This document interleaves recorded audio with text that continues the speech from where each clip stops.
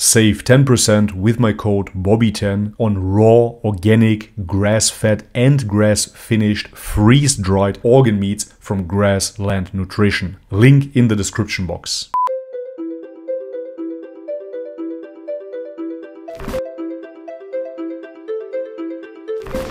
Oh! Alright guys, welcome back to the channel. If you're new, my name is Bobby. Guys, today we're going to react to Dr. Shabir Ally with his video, Should We Follow All Hadith? Every single time I make a video about Hadiths, I have Muslims, especially Muslims that have been born into Islam, telling me, Just accept Quran and Sunnah. Would be awesome if it was that easy, but as I explained in detail previously, for me coming from Christianity and seeing the corruption within certain texts in Christianity, I have to be skeptical. If it was easy for me, guys, I would have already reverted to Islam. I wouldn't further research if it was easy. That's the whole point of the channel here. You saw somebody born into Orthodox Christianity. From there on, I experienced other religions, Buddhism, Hinduism, shamanism, and whatnot. Just to then to come back to Orthodoxy and for the first time in my life really analyze it and see what it is truly Uh, about. Research the Trinity, research the Church Fathers, research the Theotokos, so on and so forth. And when that endeavor failed as well, I started exploring Islam. And this is why you see me now going in depth yet again truly wanting to understand if Islam is the truth. If you want somebody that simply says Yes and amen. then go to another channel. You're not gonna find it here. With no further ado, let's have a look. Welcome to Let the Quran Speak. I'm Aisha, your host. Let's continue our series on taking a balanced approach to hadith. In today's episode, we'll explore the idea of validity in hadith. If we say that hadith are sayings of the Prophet, then shouldn't we, as followers of the Sunnah and of the Prophet Muhammad, peace be upon him, accept the hadith as we find them? Is this a problematic approach? Let's sit down with Dr. Shabir Ally to guide us through this discussion. Welcome to the show, Dr. Shabir. Pleasure to be on. So, when we discussed uh, taking a balanced approach to hadith recently, we talked about in our last segment, we talked about why we cannot reject hadith altogether. So, the flip side is shouldn't we shouldn't we accept it altogether? So, what's your take on that? Yeah, so now on the flip side, we want to talk about why we cannot accept the hadiths uncritically. Yes. Uh, this has been the approach of Muslims uh, all the way back from to, to the inception uh, of Islamic teachings. We find uh, even within the lifetime of our Prophet Muhammad, peace be upon him, uh, there was a man who uh, went to a certain region and he told people that the Prophet Muhammad, peace be upon him, gave me authority over you. And the, the story about this is that he wanted to marry a certain girl who was Oh. rejecting him. So Okay. by passing him off as acting on the Prophet's authority, Yeah. he was setting himself up to, you know, There propose go. uh, and, and not be rejected. And that is really what I heard as well that many people abuse the power of hadiths for their political interest. For example, every time they needed a specific ruling, they would refer to Prophet Muhammad that he truly said those things. Ultimately, though, they were forgeries. on the Prophet's authority, Yeah. he was setting himself up to, you know, There propose go. uh, and, and not be rejected. And when this was uh, reported to the Prophet, peace be upon him, he re, uh, uh, reneged, or he, he, he repudiated that man's claim. And, and so we find that uh, there, there is the kind of checks and balances to make sure we don't just simply accept anything that somebody said that the Prophet, peace be upon him, said. Uh, we find among the companions of the Prophet, peace be upon him, that uh, Umar radiallahu an, uh, the second caliph of Islam, he, he used to demand of people, bring witnesses if you're claiming that the Prophet, peace be upon him, said something. And uh, other companions uh, sometimes rejected what another one said uh, because what that person said may not uh, have seemed reasonable. Aisha radiallahu anha, uh, the wife of the Prophet, peace be upon him, mother of the believers, uh, may Allah be pleased with her, uh, used to reject many sayings that she heard uh, from, from some of the male companions. Uh, sometimes uh, she castigated the sayings as coming from them, and uh, she saw some sayings as reflected a kind of a misogyny that she credited not to the Prophet, peace be upon him, obviously, but to the people who were narrating these uh, statements, so she rejected them. Sometimes she found that there are statements which are contrary to what is mentioned clearly in the Quran. and, and she would say, okay, they're saying that, but the Quran says this other thing, and it is the Quran that obviously rules uh, for, for Muslims if there is an obvious contradiction between what people are narrating that the Prophet, peace be upon him, said and what the Quran actually says. Uh, taking a, a, cue from this, uh, scholars have um, continued to uh, look at hadiths uh, critically. Like when we, when we think of criticizing, people think finding fault. Mm -hmm. uh, well, that could be for a good purpose, as in the case of studying hadiths, because uh, while the Quran, as we've seen in the previous show, while the Quran directs us to follow the Prophet Muhammad, peace be upon him, the Quran does not tell True. us to follow everything that people report about the Prophet, because yeah. some of the reports could be wrong. In fact, yes, absolutely. This is just common sense, and this is literally what it boils down to for me personally. How would I know? Yet again, I know people will say Hadith science. In the same breath, people will say that if you don't trust hadiths, you cannot trust history altogether. Guess what? I don't. History is told by the victors, therefore I'm very cautious what to believe and what not. Guys, I come from the Balkans. I am very well aware that I cannot trust anything at face value. It took me 32 years to understand who the Macedonians are. Before that, I simply listened to the history presented to me. By their default, we were descendants from Alexander the Great, a special group within the Balkans of 1.5 million Slavs. Of course, that is not correct. To find the truth, you really have to dig. Ninth chapter of the Quran, it specifically uh, says that uh, if uh, an evildoer comes to you with information, then you should verify that information. Uh, now it says evildoer, but Muslim commentators on the Quran have said that re regardless whether evildoer or good doer, anyone can make a mistake. So if somebody comes to you with information, you should verify that information before you start, you know, making a big deal of it. Of course, we, we look at things practically because not all information is of such crucial importance and what the uh, instruction is telling us to do could be a, something very minor. We probably we just want to do it and get over with it rather yeah. than to go into a detailed investigation. So for most people, uh, we, we, if we find a hadith, we presume that this is uh, part of the Islamic heritage and uh, it tells us to do something, we just act upon it. But if it, uh, if it is of crucial importance, it has major implications for society, uh, then it requires some investigation. And so while the average person still may not have the uh, acumen to, uh, yeah. to make this investigation for himself or herself, uh, it is uh, incumbent on Muslim scholars today to use all of the available information, all of the empirical knowledge we have, uh, to go back and look at the hadiths that have been transmitted down through the ages and ask how much of this is genuinely from the Prophet, peace be upon him, because certainly uh, um, it's always been accepted and known among Muslim scholars that we cannot accept hadiths uncritically. So obviously scholars have a responsibility and that's, you know, they go in, they do the research, they have the, those skill sets. But what about, uh, you know, the average person? I, I'm also thinking now within the context of social media and and Google, where we have access to Islamic information, um, sometimes it's a lot to take in and it's very easy. Like, you know, I've come across sayings of the Prophet, which I've never heard of before. And so you want to go to the right resources to reference that. So, how do you go about that from an average person's perspective?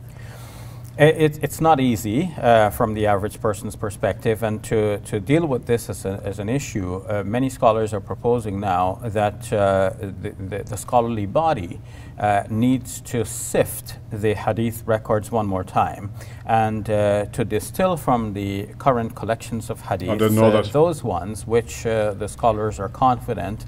Does anybody know anything about this, especially when it comes down to Sahih al Bukhari or Sahih Muslim? Is this really the case that they're going through all the hadiths yet again? Uh, have application for our present uh, circumstances and uh, that could be traced reliably back to the Prophet Muhammad, peace be upon him. So we need like new collections of, mm -hmm. of hadith.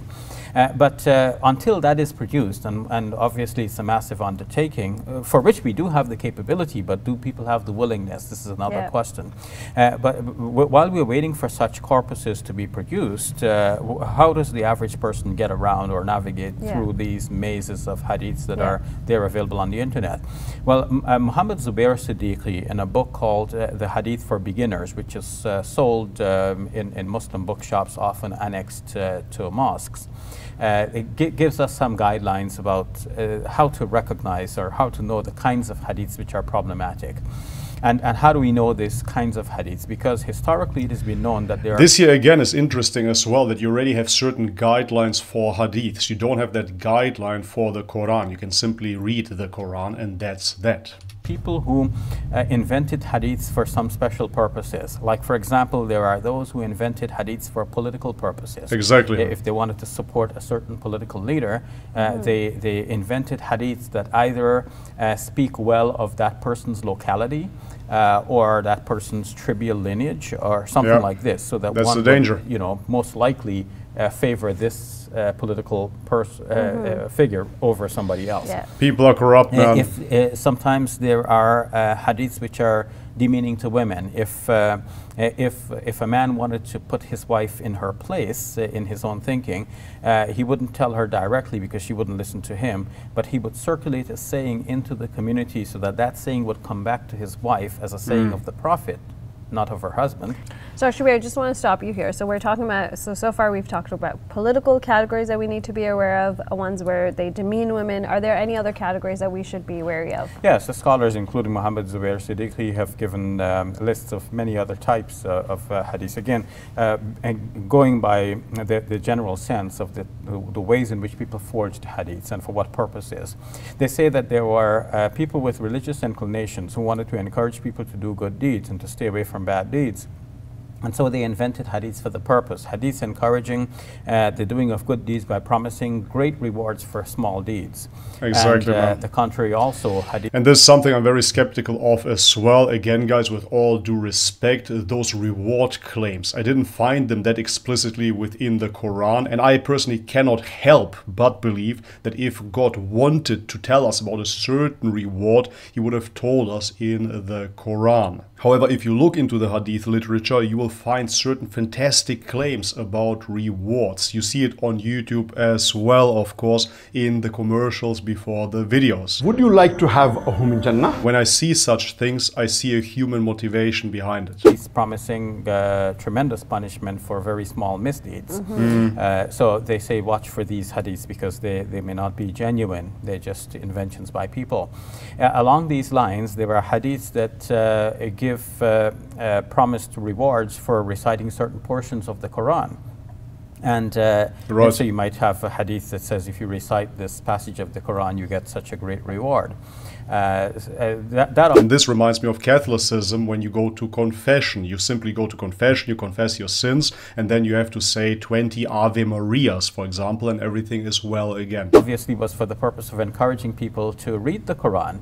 Right. Uh, but you have curiously a hadith which, to me, will encourage people to not to read the Quran because there's a hadith that says if you read uh, the 112th chapter of the Quran, mm -hmm. that one little chapter, which comprises only four verses, you get the reward as if you read the entire Quran, if you read that three times. Awesome, someone would just read so that every day. obviously, you read yeah. that, you don't have to read the rest of, of the Quran, you see. True. So it can have the opposite effect, and, and people have done things for good reasons, and some people may have done it for bad reasons, um, including, as we've seen, the political and women demeaning and so on. But uh, more insidious than this, it is known that in the early Muslim communities, uh, there were people who the Quran castigates as munafiqun, hypocrites.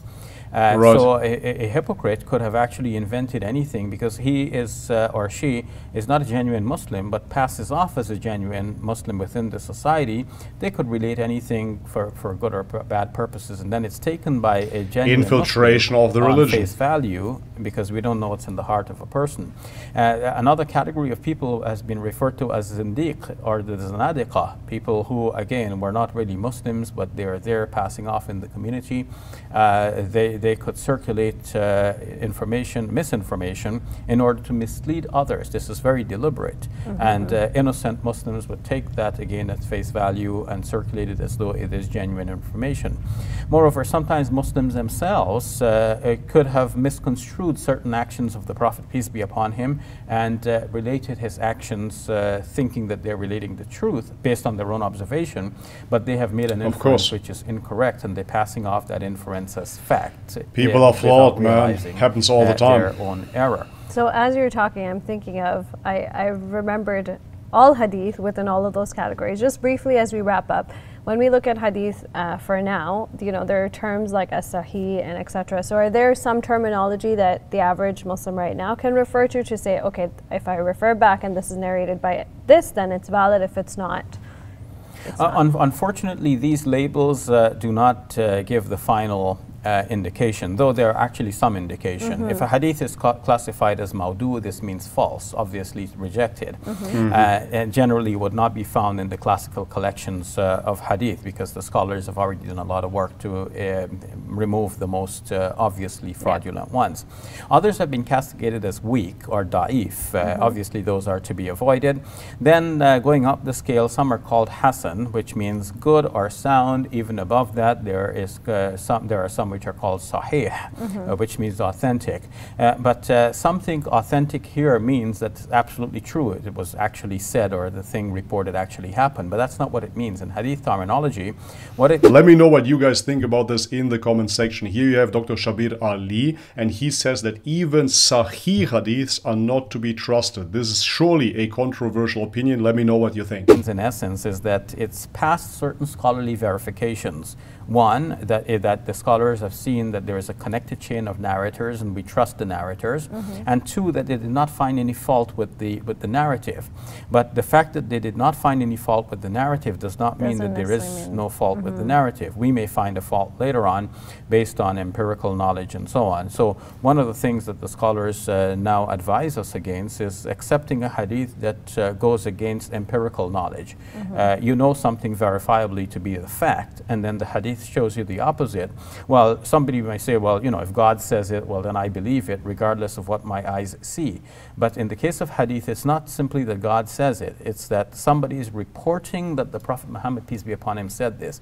And it's not only somebody Exactly. reporting, somebody reporting that somebody reporting that somebody reporting that mm-hmm. somebody is reporting that the Prophet, peace be upon him, said this. It's a long chain of narrators. Any one of them could have made a mistake along the way. There's more to be said, but we'll leave this for our next episode. I'll rest my case. Thank you very much, Akshar. You're welcome. Alright guys, and this is it for today's video. Absolutely surprising to me personally. I didn't expect this whatsoever. This is literally my opinion. Just to clarify, yet again, I never said I want to reject hadiths. Quite the opposite. I'm interested in hadiths. I want to find out more about them, but at the same time, I cannot let go of my fear that they are obstructed. And as you can see, even Shabir Ally here says that yes, of course, even if there are sahih, still there are people in place here that have been narrating those chains. And ultimately, mistakes do happen. Human error, human biases, or moreover, human maliciousness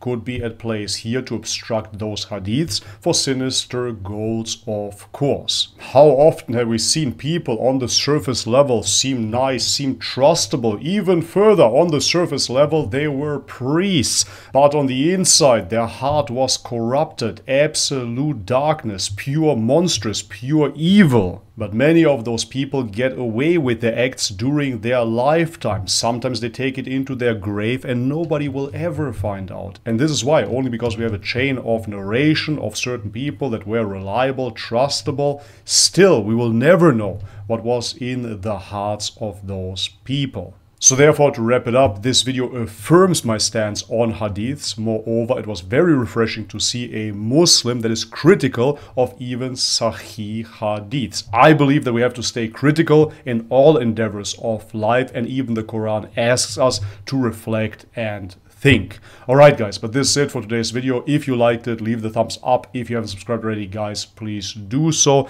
And if you want to support this channel via Patreon, for example, all the links are in the description box below. Thank you so much for your ongoing support, guys. As always, may God bless you all. Much love and peace.